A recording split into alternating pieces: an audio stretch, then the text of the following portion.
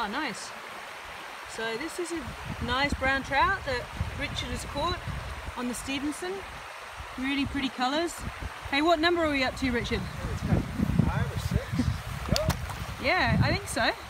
Good work. Another really decent sized fish. About half the size of that. Ah, fantastic. Beautiful. Well done, Richard.